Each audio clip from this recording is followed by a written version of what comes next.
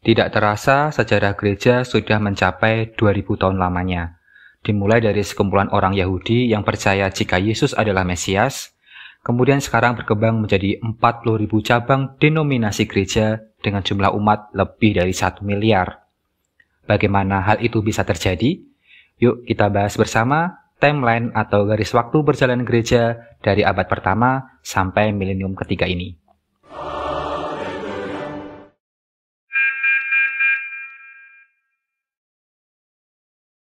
19 tahun setelah wafat dan kebangkitan Tuhan Yesus, umat Kristen mulai memisahkan diri dari agama Yahudi. Hal ini tercatat dalam Alkitab yaitu pada Kisah Para Rasul bab 15 ayat 1 sampai 29. Di perikop tersebut dikisahkan terjadinya konsili gereja yang pertama yaitu konsili Yerusalem yang mendiskusikan peran Taurat bagi umat Kristen non-Yahudi.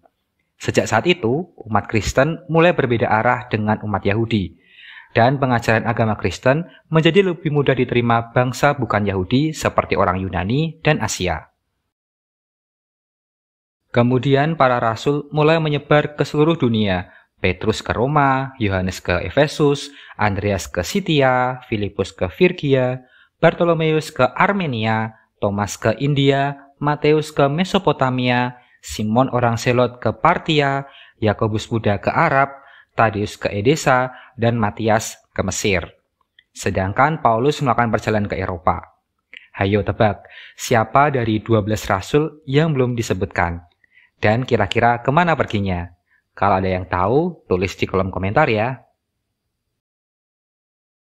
Perkembangan umat Kristen yang cukup pesat ternyata menjadi ancaman bagi pemerintahan Kekaisaran Romawi. Selama dua abad, setidaknya terdapat 10 peristiwa persekusi besar-besaran umat Kristen, mulai dari Kaisar Nero yang menuduh umat Kristen membakar kota Roma, sampai Kaisar Diocletianus yang melakukan pembersihan besar-besaran, menghancurkan banyak gereja, dan membunuh banyak umat Kristen. Di tahun-tahun ini banyak sekali lahir martir-martir Kristen, seperti Santa Agnes dan Santo Sebastianus. Kemudian di periode ini pula muncullah aliran Gnostik, sebuah aliran yang mencampurkan ajaran Kristen, mistis Yahudi, dan filsafat Yunani. Aliran ini dapat muncul karena satu, interpretasi kitab suci yang berbeda-beda, dan yang kedua, munculnya berbagai kitab-kitab yang katanya adalah ajaran para rasul atau sekarang dikenal dengan kitab apokrifa. Untuk melawan aliran tersebut, di zaman ini pula mulai dilakukan penetapan kanon perjanjian baru yang dilakukan oleh Uskup Lyons yaitu Santo Irenaeus. Susunan kitab perjanjian baru yang disusun oleh Irenaeus ini hampir sama dengan yang kita pakai sekarang. Jadi sebelum abad keempat, umat Kristen sebenarnya belum memiliki susunan kitab suci yang baku seperti sekarang ini. Setelah Kaisar Diocletianus mundur, Kemudian berkuasalah Kaisar Konstantinus Agung pada tahun 306 sampai 337 Masehi yang membawa babak baru kekristenan. Dengan pengaruh Ibu Suri Helena, Kaisar Konstantinus Agung mengadopsi agama Kristen sebagai agama resmi Kekaisaran Romawi melalui maklumat Milan. Namun bersamaan dengan hal tersebut, Arius berhasil mempengaruhi keluarga kaisar dengan ajaran-ajarannya yang menolak Yesus adalah Tuhan. Karena ajarannya yang meresahkan, maka diadakanlah konsili Nikea yang pertama tahun 325 Masehi untuk mengutuk Ariaisme ini. Hasil lain dari konsili ini adalah rumusan syahadat yang kemudian disebut sebagai syahadat Nikea Konstantinopel atau kita kenal dengan syahadat panjang. Meskipun pengaruh Arius sudah dijauhkan dari pusat kekaisaran, Arianisme masih bertahan cukup lama di daerah pinggiran Kekaisaran Romawi, sampai akhirnya nanti mempengaruhi ajaran agama Islam di abad ke-7. Fakta persatuan gereja berakhir di sini? Ternyata tidak. Bahkan di periode ini pula terjadi perpecahan gereja atau skisma yang pertama. Perpecahan ini terjadi seputar pemahaman tentang kodrat Yesus sebagai manusia dan ilahi. Nestorius, Patrik Konstantinopel itu mengajarkan kodrat manusia dan ilahi Yesus itu terpisah total, sehingga Maria tidak boleh disebut Bunda Allah, tapi cukup Bunda Kristus atau Bunda Yesus sebagai manusia. Sedangkan gereja-gereja lain percaya jika kodrat manusia dan ilahi itu menyatu. Untuk menyelesaikan masalah ini, maka dilaksanakanlah konsili Efesus pada tahun 431 Masehi, yang hasilnya mengutuk ajaran Nestorius. Nestorius kemudian mengungsi ke arah timur jauh dari kekaisaran Romawi dan ajarannya akhirnya mempengaruhi umat Kristen Persia dan melahirkan gereja Assyria. Gereja ini pernah hadir loh di Indonesia. Setelah jatuhnya Roma ke tangan bangsa Visigot, kekuatan kekaisaran untuk menjaga persatuan gereja semakin melemah. Dimulai pada konsili Kalsedonia pada tahun 450 Masehi yang merupakan kelanjutan dari konsili Efesus untuk menegaskan kesatuan dua kodrat Yesus, terjadilah pertentangan antara kubu penganut Miafisit dan Diofisit. Penganut Miafisit percaya jika kodrat ilahi dan manusia Yesus menyatu tak terpisahkan. Sedangkan penganut Diofisit percaya jika kodrat ilahi dan manusia Yesus terpisah namun bersatu dalam satu pribadi. Pertentangan ini memisahkan kelompok Miafisit atau sekarang kita kenal dengan gereja ortodok oriental seperti gereja Koptik, gereja Armenia, dan gereja Suriah dengan gereja Diofisit atau gereja Katolik yang nantinya akan pecah lagi menjadi gereja Katolik Roma dan gereja Katolik Ortodoks. Bibit-bibit perpecahan antara kebatrikan Roma dengan kebatrikan Konstantinopel serta Yerusalem mulai muncul di konsili Konstantinopel tahun 680 Masehi yang saat itu mengecam ajaran Paus Honorius pertama tentang infabilitas Bapak Paus. Kemudian muncul juga beberapa gesekan-gesekan lainnya antara dua gereja ini sampai puncaknya pada tahun 1054 terjadilah skisma besar di mana Batrik saat itu yaitu Paus Leo ke-9 melalui Kardinal Humbertus meletakkan bula atau surat keputusan untuk mengekskomunikasi Batrik Konstantinopel yaitu Batrik Michel I Kerolarios di altar gereja Hagia Sophia padahal saat itu sedang dilaksanakan misa dan kemudian dibalas dengan anatema atau kutukan oleh Batrik Konstantinopel kepada Kardinal Humbertus. Lucunya sebenarnya hal ini semacam miskomunikasi. Bula ekskomunikasi ini kevalidannya itu sebenarnya dipertanyakan karena saat delegasi Roma dalam perjalanan ke Konstantinopel, Paus Leo ke-9 telah wafat yang mengakibatkan secara otomatis sebenarnya bulan tersebut itu seharusnya tidak valid lagi atau tidak berlaku. Dan yang dianatema oleh Batrik Konstantinopel itu sebenarnya hanya Kardinal Humbertus yang bertindak kurang ajar, namun dianggap sebagai anatema kepada Batrik Roma. Hehe, begitu ruwet ya ternyata. Nah, mulai saat itu, Gereja Katolik Roma yang bertradisi Latin berpisah dengan gereja Katolik Ortodoks atau yang kita kenal dengan gereja Ortodoks Timur yang bertradisi Yunani Bizantium. Setelah masa ini, gereja-gereja di timur relatif tenang dari gejolak teologis, sedangkan di barat malah bergejolak lebih hebat akibat reformasi Protestan. Sebelum kita lanjut ke masa munculnya reformasi Protestan, jangan lupa untuk klik subscribe, like, komen, dan share dan kalau ingin membantu pengembangan channel ini, kalian dapat bergabung menjadi kesatria atau klik tombol Super Thanks. Sebelum Martin Luther menggelorakan reformasi gereja pada tahun 1415, Jan Hus, seorang profesor Universitas Charles di Praha, dieksekusi atas perintah konsili konstan. Mengapa? Saat itu Jan Hus menyerukan reformasi moral gereja, mengecam praktik penjualan surat indulgensi, menolak Paus sebagai kepala gereja, dan menolak adanya perang salib. Kematian Jan Hus tidak serta-merta mematikan benih-benih reformasi, sampai sahabat kemudian pada tahun 1517, Martin Luther memakukan 95 dalil reformasinya di pintu gereja semua orang kudus Wittenberg.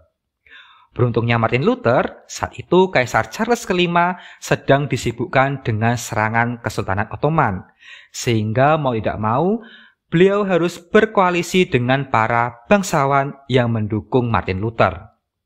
Mungkin nasib Martin Luther tidak akan berbeda jauh dengan Jan Hus jika Sultan Soleman tidak mengepung Wina pada tahun 1529. Reformasi Protestan akhirnya menyebar ke seluruh Eropa di mana di Inggris juga terjadi perpisahan antara gereja Katolik Roma dengan gereja Inggris akibat Raja Henry ke-8 yang doyan kawin dan juga Ulrich Zwingli yang mencetuskan reformasi yang radikal di Swiss. Reformasi yang telah menyebar ke seluruh Eropa ternyata juga berdampak pada dinamika politik di sana, Para bangsawan yang ingin lepas dari pengaruh paus disemangati juga oleh motif keinginan untuk menguasai harta benda gereja. Mereka ini kemudian akan mendukung reformasi. Dengan demikian muncullah perang saudara di mana-mana. Seperti di Prancis, akhirnya memunculkan revolusi Prancis dan melahirkan Republik Prancis. Kemudian ada juga perang 30 tahun antara bangsawan Katolik dan Protestan di Jerman. Begitu pula terjadi di Belanda, Inggris, serta Swiss. Kekacauan di Eropa ini memaksa sebagian penduduk bermigrasi keluar menuju dunia baru yang dikenal dengan benua Amerika.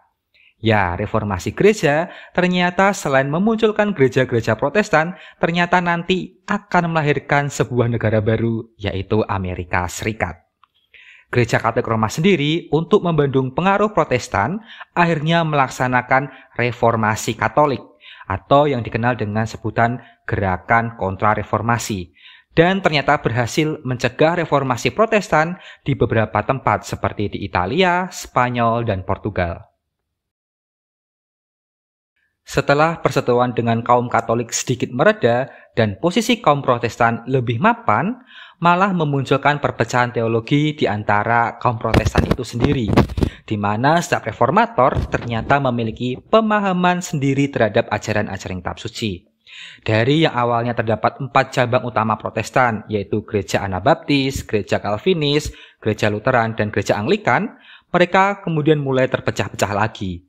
Di mana gereja Lutheran kemudian melahirkan kaum Puritan dan gereja Metodis, gereja Lutheran melahirkan aliran Pietisme, gereja Calvinis melahirkan gereja Reformed Presbyterian dan Arminian. Semoga tidak salah ya. Nah, antar gereja pun saling mempengaruhi dan membuahkan aliran baru, seperti pertemuan gereja Anabaptis dengan Puritan memunculkan gereja Baptis, dan gereja Presbyterian bertemu dengan gereja Anglikan melahirkan kongregasional. Pada periode ini dikenal dengan gerakan kebangunan rohani atau Great Awakening. Gerakan kebangunan rohani yang pertama terjadi di Eropa sekitar tahun 1740-an dan diikuti dengan gerakan kebangunan rohani yang kedua pada tahun 1790-an di Amerika. Mulai dari sinilah terjadi ledakan jumlah denominasi gereja atau jumlah aliran gereja. Pada periode ini pula terjadi liberalisme teologi yang menguat sehingga muncul beberapa aliran baru, terutama yang berkaitan dengan kedatangan kedua Yesus Kristus serta keinginan untuk kembali ke Alkitab semurni mungkin atau revivalis restorasi.